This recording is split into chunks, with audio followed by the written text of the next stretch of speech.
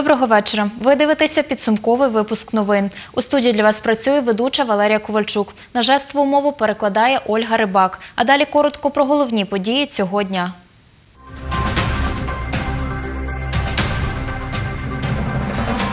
Працювати і заробляти гроші. Понад три сотні хмельницьких підприємців вийшли сьогодні на акцію. У Хмельницькому оновили електронну чергу дитячі садочки. Як не пропустити себе у списку? Історико-культурному заповіднику Межибіч реставрували кам'яний міст оригінальним камінням. Понад три сотні хмельницьких підприємців вийшли сьогодні на акцію з вимогою дозволити їм працювати і заробляти гроші. Про це сказав інспектор секції превентивної комунікації головного управління Нацполіції в області Денис Гаєвський. Каже, про проведення акції організатори попереджали та обіцяли дотримуватися соціальної дистанції. Учасники акції, за словами організатора мітингу Віктора Вікарчука, чекали реакції від міської та обласної влади і відповідей чиновників на головне для них питання, коли відкриють ринки, магазини та кав'ярні і дозволять їм заробляти гроші. Скільки підприємців зібралося під стінами облдержадміністрації, Віктор Вікарчук не рахував. Представники малого і середнього бізнесу, власники та працівники кафе і кав'ярень, перукарі, продавці ринків вийшли на акцію протесту на Майдан Незалежності об 11-й. Сьогодні, у 52-й день карантину, підприємці Хмельницького вийшли на акцію протесту з вимогою дозволити їм працювати та заробляти гроші. Вони вимагають не пом'якшення, а скасування обмежувальних заходів під час карантину. Учасники акції розташовуються на площі з урахуванням соціальної дистанції. Вони тримають у руках плакати з написами Право на працю, право на вільне пересування, право на виїзд за кордон, право на підприємницьку діяльність. Саме ці конституційні права, каже організатор акції Віктор Вікарчук, були порушені урядовою постановою про введення карантину. Ну, Людей сьогодні виселяють з квартир. Сьогодні люди не мають можливості за що купити їсти. Порушений закон конституції, право моє на працю, право на отримання заробітної плати. Учасниця акції Світлана Москалик розповіла, через карантин зачинився заклад, де вона працювала. Жінка з двома дітьми залишилася без роботи і без фінансової підтримки. Гроші закінчились, у мене є діти, і я і діти ми хочемо їсти. Для того, щоб їсти, треба працювати. А так як немає допомоги від держави,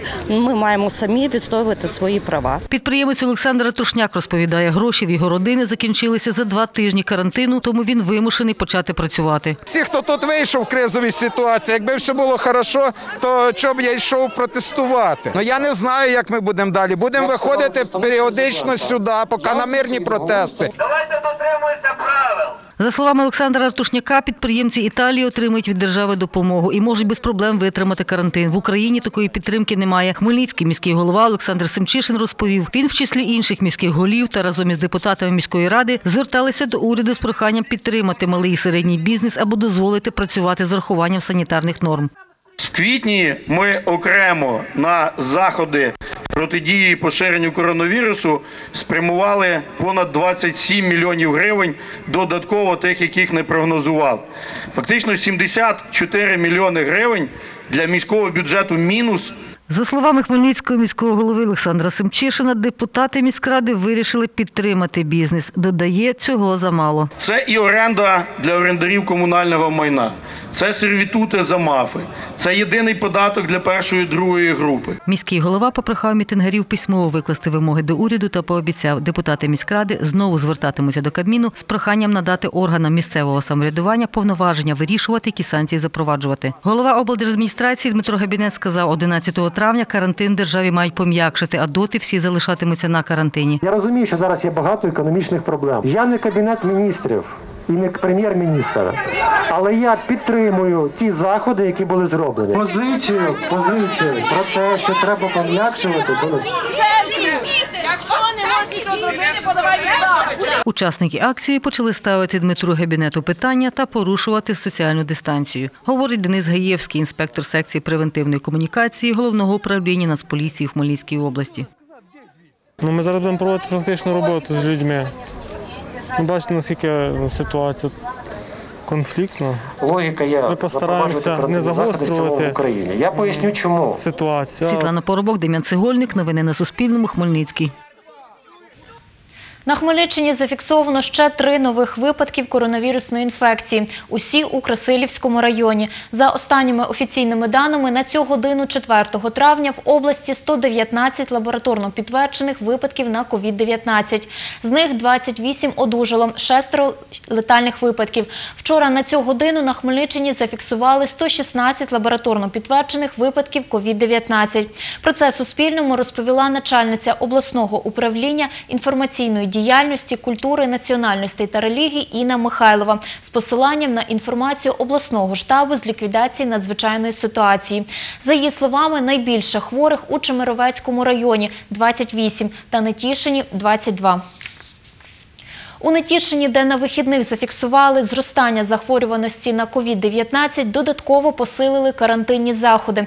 Про це Суспільному розповідає Нетішинський міський голова Олександр Супронюк. Додає, серед 22 офіційно підтверджених хворих двоє працівників ХАЕС. Ще один працівник атомки був госпіталізований до місцевої лікарні сьогодні із двосторонньою пневмонією. У нього також підозрюють коронавірус. Обмежили виїзд з міста і в місто це комунальних підприємств, представників комунальних підприємств, працівників і атомної станції. Е, Кожен, хто виїжджає за необхідності, повинен повідомити керівництво. І в випадку, якщо він е, там, скажімо, виявляється з е, зона враження, то він автоматично перебуває на карантині 14 днів. Також е, зараз е, не змогли відкрити ринок, е, тому що зараз чекаємо результатів аналізів. Нам треба зараз локалізувати цей спалах, виявити всіх хворих для того, щоб далі воно не розповсюджувалося. У Нетішині було уже зроблено понад 120 тестів на коронавірусну інфекцію, продовжує Олександр Супронюк. Додає, зроблені аналізи усім лікарям інфекційного відділення місцевої лікарні та медикам ПМСД, працівникам Хмельницької атомної станції. Аналізи в усіх негативні.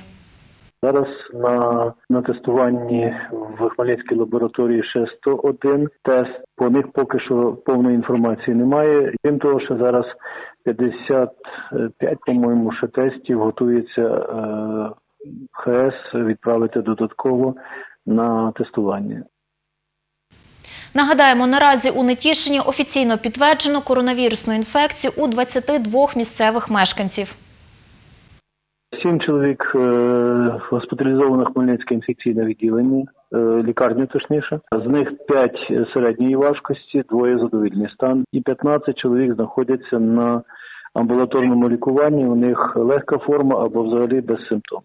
Є один е, лікар, невропатолог, який е, був інфікований не під час виконання своїх посадових службових обов'язків. 14 чоловік, з них 4 священники, 10 – це прихожани церкви е, Московського патріархату і 7 – це сімейні контакти, тобто члени сімей цих же е, священників У Хмельницькому оновили електронну чергу у садочки. За підрахунками Департаменту освіти і науки Хмельницької міської ради, майже 4 тисячі дошкільнят підуть восени у садочки обласного центру. Про це Суспільному розповіла виконуюча обов'язки директора департаменту Світлана Губай. За її словами, минулого року у Хмельницькому було 3996 дошкільнят. Як відбувається зарахування в умовах карантину, дізнавалася команда Суспільного. Подробиці у сюжеті Лесі Боровець. Планувала влітку йти писати заяву на зарахування свого сина Дениса в садочок хмельничанка Альона. Каже, в електронну чергу ставала одразу після народження сина, якому два з половиною роки. Садочок обрали той, що у мікрорайоні Ружична, оскільки там проживають. У ньому навчалася й старша донька. Отримали свідоцтво про народження, і протягом місяця я одразу зайшла на сайт і записала е, сина у садочок. Садочок обирали той, що неподалік е, від дому, де ми проживаємо. Возити в місто в інший садочок навіть думки не виникало, тому що ну, наш садочок на достойному рівні. Я думаю, що моєму синові там буде доволі цікаво. Е, Багато вихователів нових з'явилося. Альона додає, електронну чергу не відстежувала. У березні їй зателефонували з адміністрації дошкільного закладу. Мені позвонила завідуюча, запитала, е, чи ми будемо відвідувати садочок, тому що прийшла наша черга. Е, Я, звісно, відповіла відповіла так. Вона зробила відповідну відмітку, але вже про заяву сказала, що прийти, коли закінчиться карантин. Тобто, фактично, якщо е, карантин закінчиться, я одразу піду напишу заяву. Якщо в електронній черзі навпроти прізвища вашої дитини вказано прийнято до зарахування, необхідно підтвердити, що дитина восени прийде до садочку, каже виконуюча обов'язки директор департаменту освіти і науки Хмельницької міської ради Світлана Губай. Потрібно подзвонити або написати на електронну пошту до закладу дошкільної освіти. Усі ці ця уся ця інформація розміщена на сайті електронної черги. Наразі письмову заяву не потрібно писати, потрібно підтвердити письмову заяву. Потрібно буде написати тоді, коли е, завершаться карантинні обмеження. Ми плануємо е, набрати е, близько 4 тисяч дошкільнят. Електронні черги зручні і для батьків, і для керівників дошкільними закладами. Такої думки завідувачка дитячим дошкільним закладом номер 48 Червона квіточка, що в мікрорайоні Гречани Наталя Юрчик. Тому що батьки вчасно можуть стати дитину, поставити дитину на чергу, вчасно можуть проконтролювати, чи дитина в них е, підлягає зарахування на цей навчальний рік, чи можливо на наступний навчальний рік. Цього року, як і щороку, ми плануємо відкривати дві групи для дітей групи раннього віку, тобто від діти від 2 до 3 років народження. Молодших дошкільних груп ми набираємо одну. Це діти, які будуть на 1 вересня від 3 до 4 років життя. У садочку зараз займаються косметичним ремонтом у групах, де потрібно змінюють лінолеум та шпалери. Чекають, що влітку діти повернуться у групи. Ми чекаємо. Я не думаю, що будуть дошкільні заклади закриті, але чекаємо рішення, по-перше, епідеміологічної ситуації, що покращилася в нас в Україні і в нашій Хмельницькій області, в місті Хмельницькому. Я думаю, що ми готові і ми будемо працювати влітку. Е, Батьки підуть на роботу, дітки підуть дошкільні заклади, хай розвиваються, виховуються, навчаються. Загалом до зарахування у 48 садочок цьогоріч заплановано 90-95 дітей, додає Наталя Юрчик. Це і середні можуть бути діти дошкільного віку, тому що діти вибувають за місце проживання, е, переїжджають в інші міста, в іншу місцевість. Так само і ми набираємо 15 дітей в цьому році, дітей старшого дошкільного віку, кому вже є на 1 вересня 5 років. У цьому році в нас є одна старша група, е, буде е, на загального розвитку. Так як багато дітей не багато батьків не планують дітей віддати в школу на 6 років, вони залишаються ще на наступний рік. Леся Боровець, Віктор Кривий, Іван Мовчан. Новини на Суспільному. Хмельницький.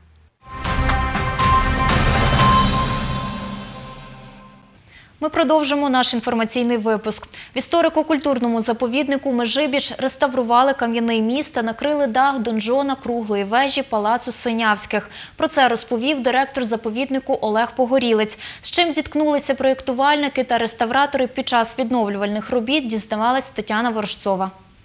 Це кам'яний замковий міст, що відкриває історико-культурний заповідник Межибіж. Тут реставрували кладку та перила. Для того, щоб була безпека тих людей, хто до нас приїжджає, а ще враховуючи, що йде реставрація і заїжджають вантажівки сюди, зрозуміло, що міст повинен витримати всі навантаження.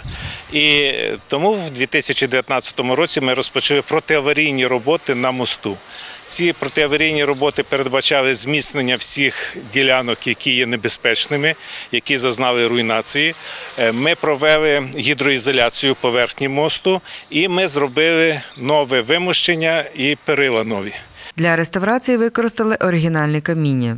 Поверхня зроблена з оригінального каміння, яке знаходжено було знайдено на території фортеці. А ось ці великі плити, які по центру, це ті плити, по яких 500 років назад ще ходили лицарі, ходили дами, їздили коні. І через те вони такі гладенькі, вичовгані. А це одна із складових частин палацового комплексу Синявських донжон або кругла вежа, головна та найкраще укріплена. Дах тут повністю відреставрували. Є збережені світлини вже е, кінця 19 століття, є гравюри е, і 18 століття. Тобто ми старалися зберегти, тобто відновити цей дах в тих пропорціях, які ми можемо, е, могли б побачити на цих світлинах. Е, д- д- Дерев'яна сама конструкція даху це дерев'яна шатрова конструкція. Зсередини вона е, повністю обшита, тобто е, облатування суцільна е, дошка.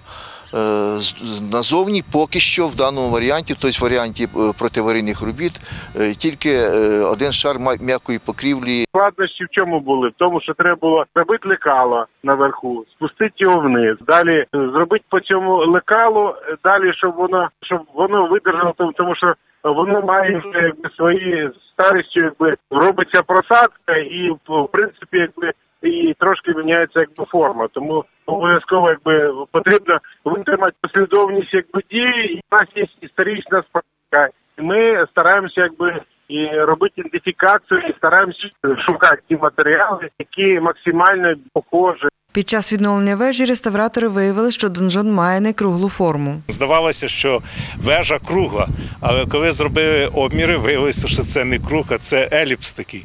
І сама сам дах складається з 10 сегментів, але кожний має свою довжину, і відповідно потрібно це було робити, виміряти зверху. А внизу, де вже формувався сам цей дах, е, потрібно було все зробити так, щоб коли вже ми його встановлювали, то кожна ділянка сіла на те місце, де воно повинно бути.